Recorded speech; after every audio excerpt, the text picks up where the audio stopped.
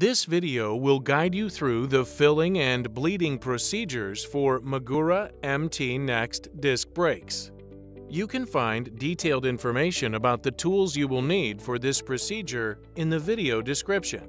Preparation First remove the brake caliper from the frame or fork using a Torx T25 tool. This will facilitate the filling or bleeding of the system later.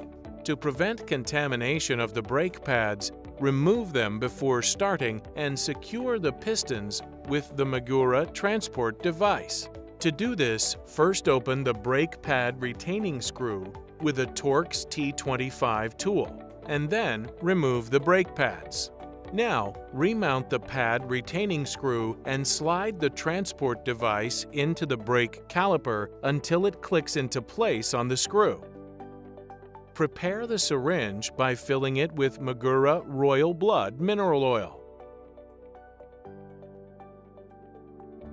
Before opening the bleed screw, hold the brake caliper above the master to avoid oil leakage. Use a Torx T25 tool to open the bleed screw.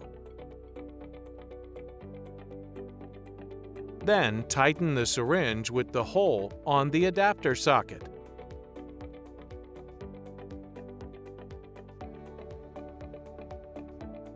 Position the brake caliper below the brake master to facilitate bleeding. To mount the syringe on the master, first place it in a horizontal position. The EBT screw should be the highest point of the system. Now open the EBT screw with a Torx T25 tool and prepare the second syringe. Before inserting it, pull the plunger of the syringe over the hole at 30 milliliters.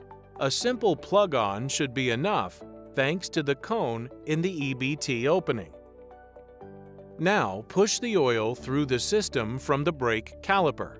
Always hold the brake caliper in a vertical position during the bleeding process so that the air from the brake caliper can flow freely upwards through the line. And please make sure that you don't let any air into the system and that there is always oil in both syringes.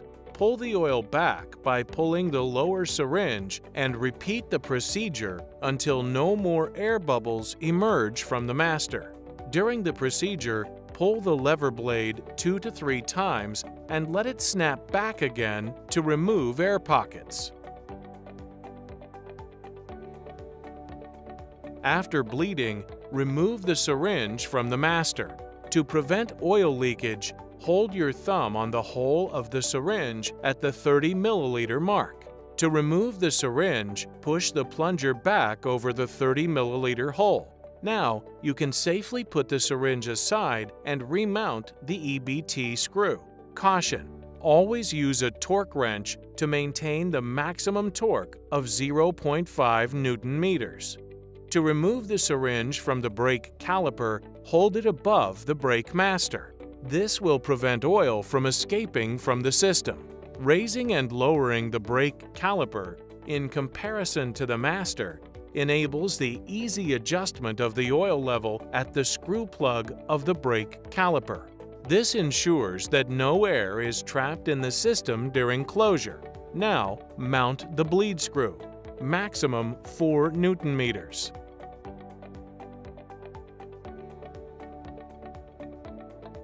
When you're finished, first clean the brake caliper thoroughly. Then replace the pads. Thanks to the magnetics change technology, the pads are held in position magnetically. There's no need for a retaining clip. Mount the pads using the pad retaining screw and insert the brake caliper over the brake disc.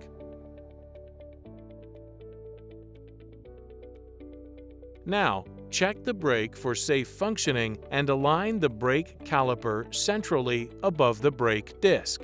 You'll find more information in the service section at Magura.com or your local Magura dealer's shop. If you have very specific questions, we are also available for chats in our social media channels.